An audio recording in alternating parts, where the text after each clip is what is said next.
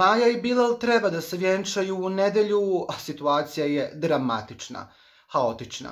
Iako treba da izgovori jedno drugom da u nedjelju, Maja Bilal grebu se, tuku se, vrište, urlaju po reality programu Zadruga. Sinoć smo gledali pravi akcioni film sa horror situacijama.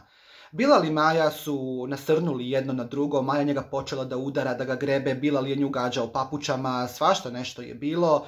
E, Maja u jednom momentu ušla u pušionu, Bilal je pušao cigaretu tu odmarao, ona je nasrnula na njega, Bilal je odmah uzvratio, gađao je papučom, obezbeđenje je svo vrijeme bilo tu da ne bi, ne da Bože, došlo do nekih gorih situacija.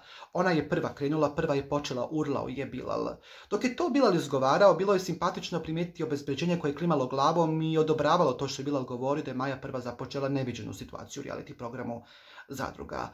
Bilal u tim momentima je pokazivao da mu krvari prst i rekao da ne želi, da nije došao tu da bi krvario, da bi ga neko krvario. Nisam došao ovdje da me neko krvari, da me neko grebe, izbacite ku napolje. Ona je mene napala, izbacite fu napolje. Govorio je Bilal i urlao je po reality programu zadruga. Šta će se ovdje sve izdešava? Znamo da Maja neće biti diskvalifikovana zbog ovoga, ali sigurno će popiti kaznu od strane velikog šefa. A šta će biti do nedelje, to ćemo sve da isprati.